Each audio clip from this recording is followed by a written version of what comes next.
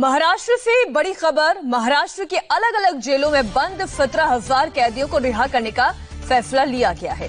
महाराष्ट्र की जेलों में कुल पैंतीस हज़ार दो सौ उनतालीस कैदी बंद है, जिनमें से तकरीबन 50 प्रतिशत कैदियों को अस्थायी रूप से रिहा किया जाएगा। जेलों में कोरोना केसेस सामने आने के बाद से महाराष्ट्र सरकार ने यह फैसला लिया है। मुंबई के आथा रोड जेल में एक कैदी हैं और 26 कर्मचारी हैं जो कोरोना से पीड़ित हैं। भाईकला जेल में कोरोना का एक केस सामने आया है। राज्य की आठ जेलों में कोरोना फैल चुका है। जेल में कैदियों की संख्या ज़्यादा होने की वजह से सोशल डिस्टेंसिंग का पालन कराने में मुश्किलें आ रही है। अब आपको बताते हैं कि किन किन कैदियों को रिहा किया जाएगा।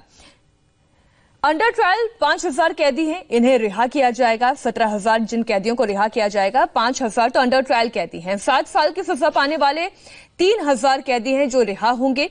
सात साल से ऊपर की सजा वाले कैदियों की संख्या नौ हज़ार है, जिनकी रिहाई मुमकिन है। कैदी अस्थायी जमानत या परोल पर रिहा किए जाएँगे। गंभीर आरोप वाले कैदी रिहा नहीं होंगे, जिनमें रेप बैंक फ्रॉड और ये तमाम गंभीर मामले शामिल हैं।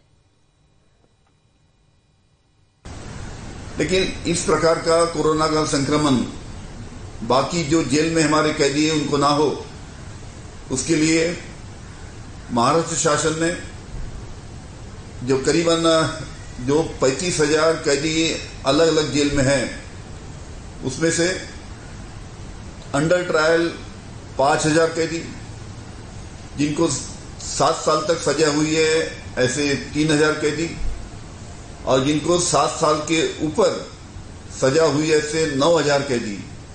ऐसे कुल मिला के पैंतीस हज़ार में से सत्रह हज़ार कैदियों को टेम्पररी पैरोल देने का निर्णय हुआ है। फ़िलहाल रुकेंगे एक ब्रेक के लिए। ब्रेक के बाद अहमदाबाद से कोरोना पर अलार्मिंग अपडेट